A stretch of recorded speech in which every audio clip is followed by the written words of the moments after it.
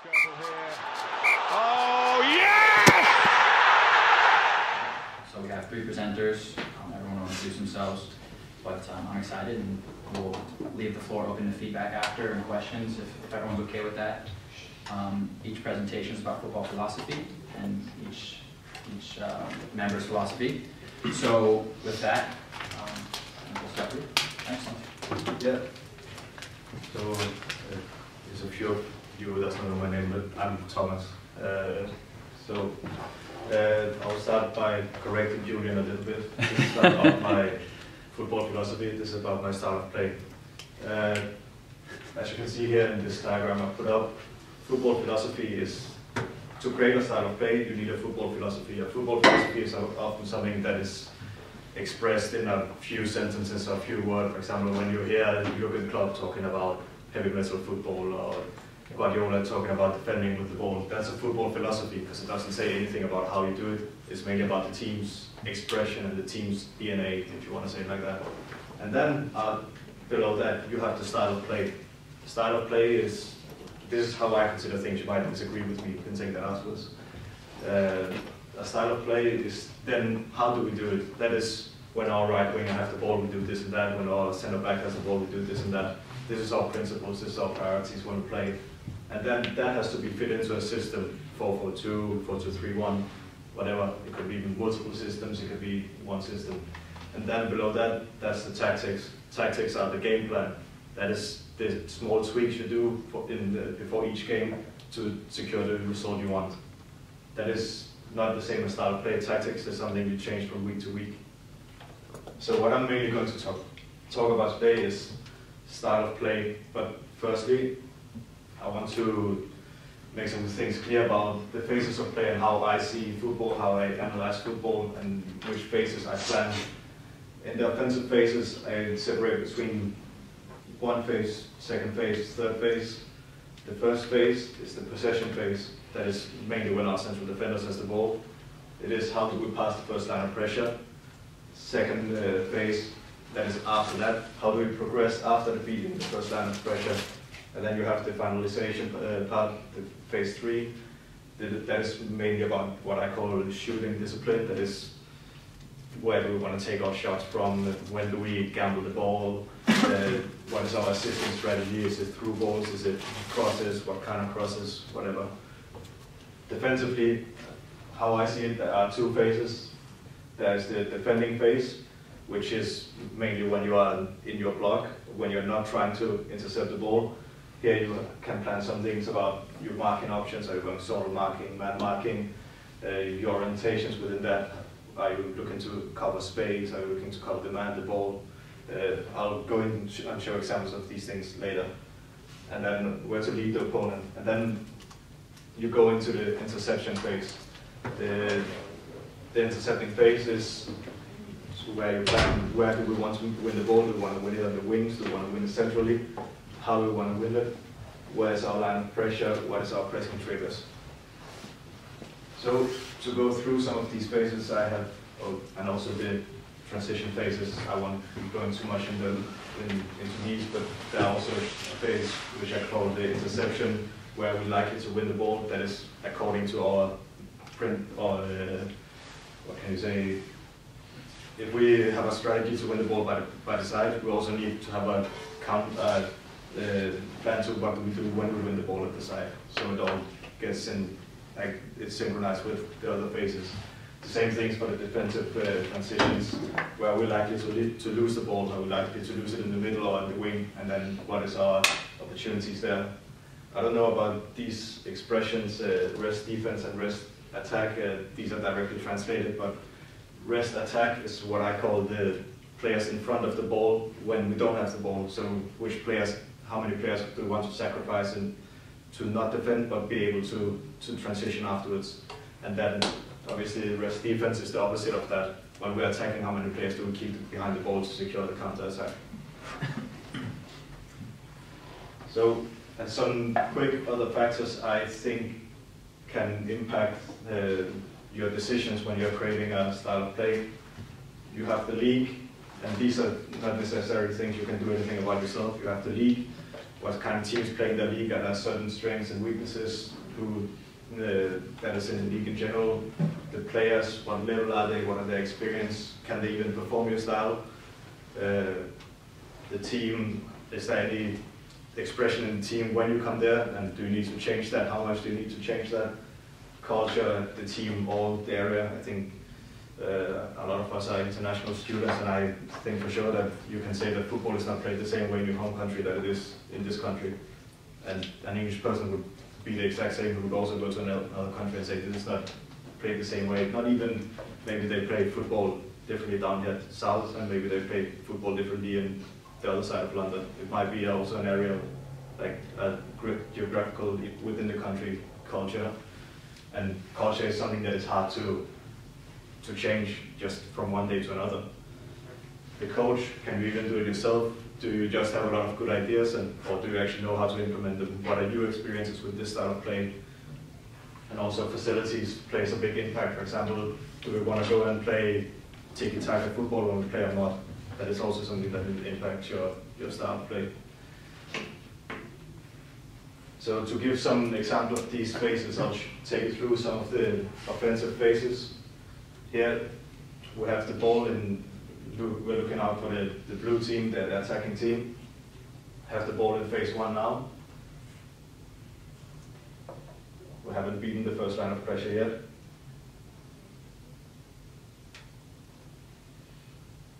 Oh shit. Oh. like that. yeah.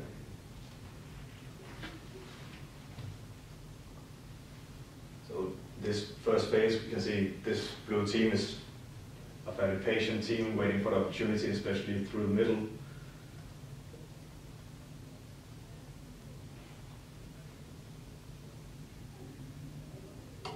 Now we're going into second phase with we who have broken the first line of pressure. Uh, this is a team I work with, so I can say this for sure that now uh, you can see this is our 10. He has dropped down because the, the aim of some of the tactical tools we use in our second team is to break through in the middle of the pitch. So that is why we have dropped out of pairs out of the space to attack the space. We have a winger, winger also who has tucked in uh, to be able to attack that space. So these are some things we can say about our principles in phase two. Can see an overlap also coming.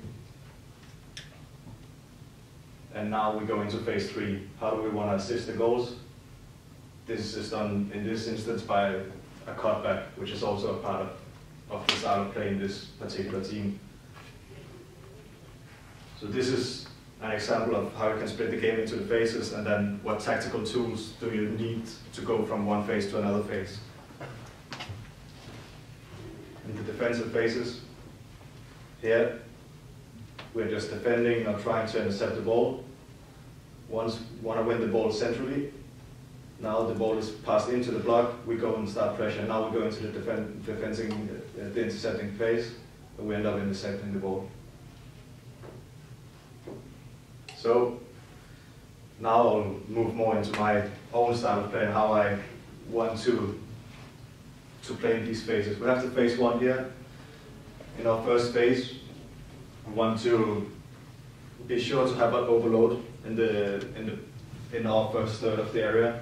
That is for one thing to secure the balance into the next phase, or second uh, second point in it to attract more uh, opponents, so you can take more opponents out with one pass. And then after that, we uh, we will start to work down through our following priorities. Within my teams, we'll often work a lot with priorities or principles. I'll come into principles later. But priorities is first, as the center back has the ball, can he play that directly into the pocket? He should do that. Is that not possible? Can he just pass the first line of pressure with a pass? Can he not do that? He has to take it past the first line of pressure himself. Is he not comfortable with doing that or is it not possible? Then we want to circulate the ball towards the furthest sideline, not the closest, because if he plays it in there, we'll just get trapped. And so work down. After that, we go into some more long diagonal balls, passes into the back space, or hitting the man closest the, to our the teammate closest to goal. So these, this is the way I work with our phase one play a lot in priorities. Say, how do we, if we can't do this, we do that. If we can't do this, we do that. Uh, and this is of course suited to the players that are available and also your own thoughts about football also laid out, explained into the system. The second phase, the creation phase, that is when we have passed the first line of pressure. Then we start to, to play according to principles and not priorities.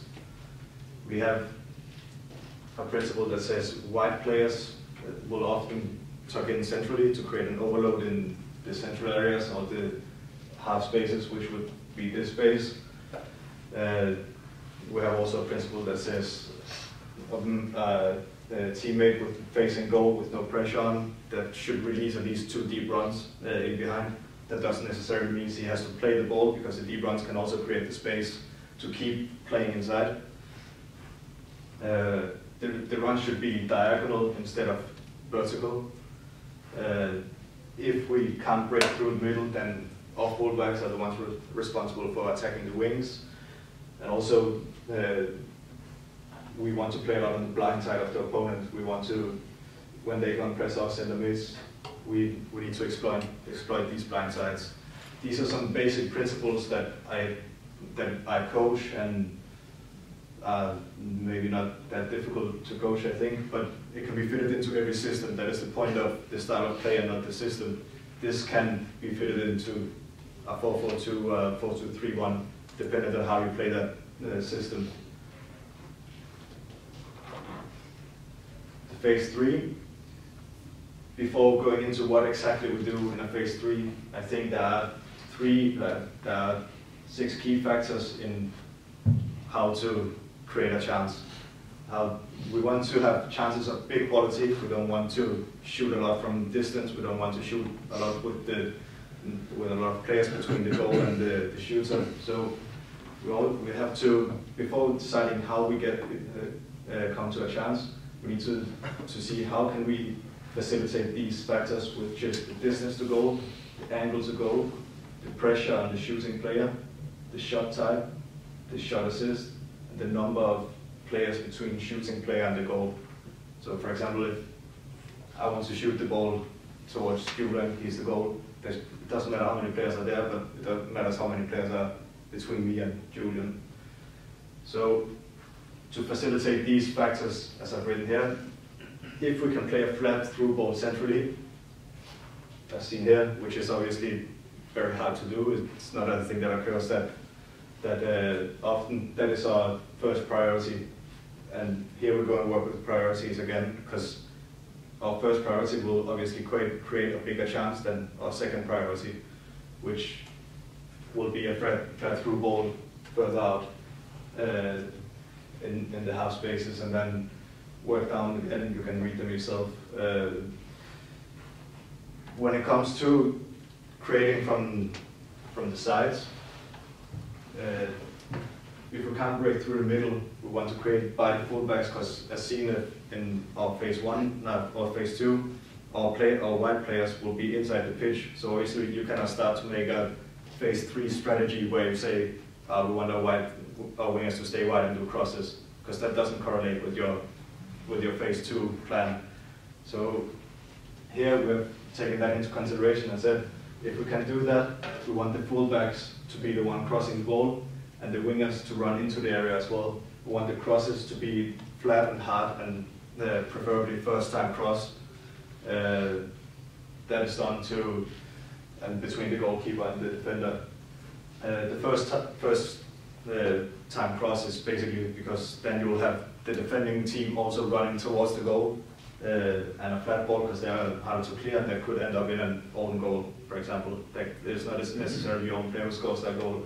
See, for example, the goal I think was Phil Jones made an own goal against Tottenham not that long ago, where you have that exact thing. The ball comes from from the central, goes out wide, first time cross inside. Phil Jones runs towards the ball, but has nothing he can do about it, just shoots it into some goal.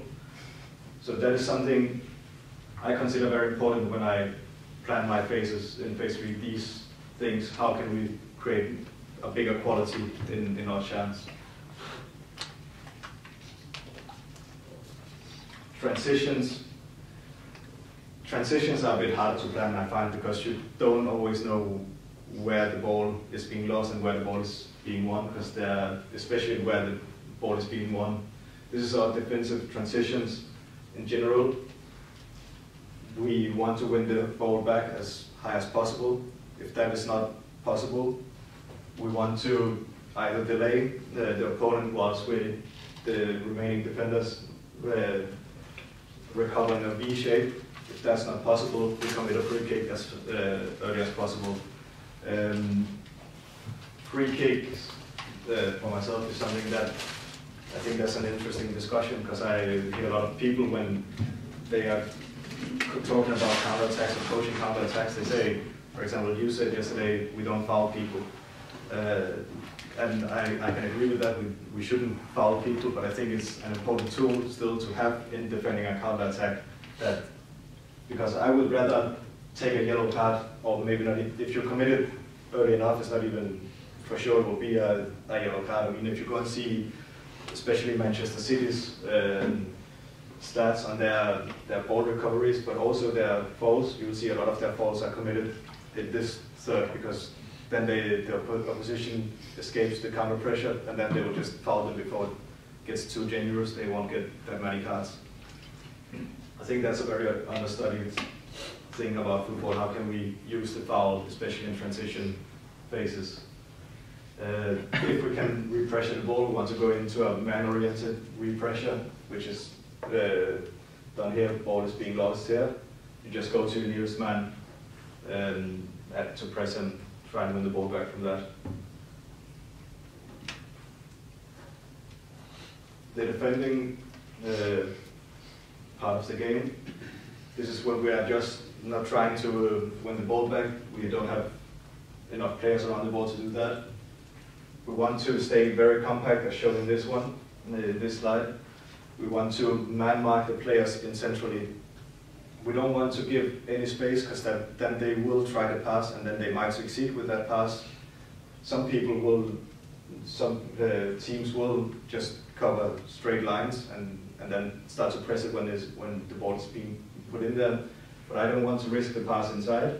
I just want to man mark them so they're forced to play around uh, around there. You can see here what we do when they try and switch the ball. We do the same. Even the widest man out here stays inside to just give them a lot of space on the wings. Try and tempt them to pass the ball out to the wings. Because that is then in correlation with the intercepting phase. The ball is passed out to the wings. Now we can go and overload the side. Now we can go and try and intercept the ball by the side. Um, the intercepting phase of play, I think, can be separated into two uh, categories. There's both high pressing and then there's intercepting after defending in a lower block. Uh, in general, I will put my teams, I will use these two uh, pressing uh, traps, uh, triggers to, to press high. This one is the more common one, the ball is playing out, played out to the fullback, wing, ball file winger goes in to make the team compact, you go man-man inside. This has been done by a thousand teams in, in, the, in the past. Uh, this one is a bit more complicated. Uh, as I showed you before, the team won't ever get to play centrally on against my team, that is my aim at least. But in this particular instance, you then open up the gap on purpose to tempt them up, to tempt him to think, oh, now I finally have the opportunity to pass inside, then pa passes inside, then we can go in at uh, if everything works well and we be one in centrally. That also gives us the opportunity to start the counter attack and overload because we have already overloaded this player in here. Uh, however, especially the white player here will be uh, have to be uh, conscious about the, the player uh, running his back out here. What, hence why he has to curve his run. Um, also in my intercepting play, I work with these pressing triggers, a badge touch from the opponent or pass, opponent receives back to goal, opponent receives by the sideline, the opposition is out of balance, back pass from the opposition or pass between our defending players. These are something that should trigger everything in the players. These are something you have to remind them about every time you play a game that if something of this happens, it's just press, press, press. However, still you can put all up uh, all of these kind of triggers, but it's still also important to remind your players that you can't intercept the ball if you're not overloaded in the area. I mean, it doesn't matter to go in a press and if say a, a player uh, gets the ball with his back turned to goal, if they're not overloaded they, in the area or at least equal numbers, they will still have, find it hard to intercept the ball. Offensive transitions. Uh, we have again here to, we start to work with priorities. When we win the ball, can we attack the space in behind the defense? Can we attack in front of the defense? If not, we can combine out of first pressure and then go into our possession phase. If we can't do that, just kick it out the pitch. Um, if we then succeed with one of the two first options, we can we then start to work with principles. What are we going to do? And then it's according to the situation again. We want to run in angles with the ball. That way we can, instead of running straight, it's easier to tackle us and it's easier to track us. If we start to do angled runs, we can get across an opponent, opponent who will then either has to leave the player or have a high chance of committing a free kick. And also it will be harder for the player to, to, to track the run. If he should then do that, want a lot of runs away from the ball carrier. We want our wingers, who should be very good dribblers to, on the ball, to dribble a lot in our counter attacks. Fewer passes, more dribbles dribbles across the pitch and runs away from him to create space for him. If that's not possible, hopefully we can go in behind. And in here, at least three players in rest defense also to keep the balance on the team. Now then, coming into system, uh, for me the system doesn't always matter that much because you can twist the system a lot. You can move players around and then it sort of becomes your own system.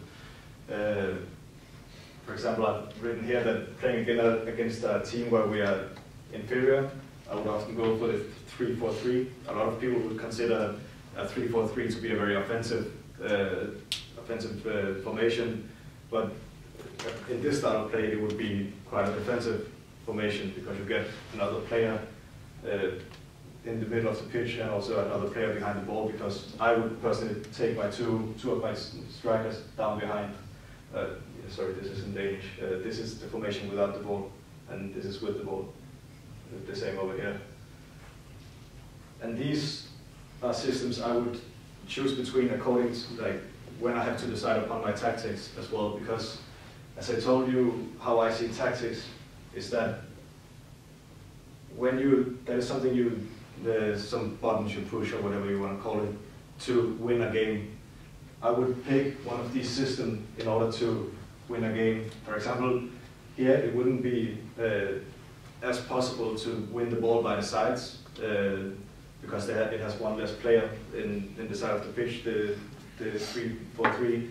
So that is some I think that I want less of in this game, but I'll but I'll turn up the volume in the central defending that is how I choose between system and how I see the difference between style of play and tactics. So now I've given some of the uh, some of my ideas about the phases of play, but I also just want to mention two uh, quite valuable le lessons I've gotten recently. Uh, I'll start with this one. Uh, I went to my to do my UEFA B license uh, uh, last week, uh, the Danish UEFA B license is set up the way so you do you have 24 people on the course. Uh, there come two teams come in. You you split the, the people on up onto coaching staff of 12. Then one staff is with one team and one staff is the, with the other team. The, then you watch a game between, in our case it was 214 teams. Um, and then you're responsible for that team uh, during the week, and then they have to play another game uh, in the end of the week to see sort of how far you got them. So my team, the team that I'm in the coaching staff of, we watch the team play and they lose 8-0. Uh, so yeah, the coaching staff, of course, we look at each other and think, uh, okay, this is going to be quite a tough, uh, tough thing. So what we decided to do, like we could have gotten in, because you had one, uh, you had three uh, coaching sessions with them on one on defending, one on, the finalization play, and one on build-up play. And then you could choose yourself in the last one what you wanted to do. Uh, so we could have gotten in and said uh, we want to change everything because this just went. I mean, this just wasn't good enough. But we decided upon that we had actually seen an expression in this team, we had seen a DNA in this team, and we wanted to build on that DNA instead of just tearing it all down. So we decided to go out and coach the things that they were trying to do but did not do very well. Uh, and then we come Friday uh, and also the, the, day where we could have chose where we could choose the subject ourselves. A lot of coaches would maybe have chosen we go out to coach defending because we just lost 8-0. Uh, no, we coached build-up play because that's what they were good at. They were not a defending team, they were an attacking team. So we come out Friday, uh, 30 minutes gone, we're leading 5-0. Uh, that can also be because of the other team, because they have just been walking around. Uh, we just won 8-0, we don't really need to, to do that much about this. Uh, we did end up winning 5-4 because they probably realized that they were not uh, very good and then took themselves together in the second half. But that was a very valuable lesson to me that even though I have a style of play, I don't need to just go in to my players when I step into a new club and say, this is how we do it. There's already some things there and your style of play will develop the, according to the experience you get. I would never go into a club and say, this is my style of play, now you just do that. You, there's always something that has been before you and probably something that has worked very well that you need to also see if you can just do that better and then the team will also benefit from that. Here, at the box team, uh, also some very valuable lessons, I think, that mainly comes to the these factors I went through here. When we set upon what kind of football we wanted to play, a lot of these things, according to me at least, now two of the coaches are sitting in here, they would probably say, say something else, I don't know. But a lot of these things weren't taken into consideration. The facilities thing is we, we set out with what I would call quite an ambitious style of play. We had uh, half a pitch for one and a half hour a week. That's not very much to train uh, to train something that's very new to the players.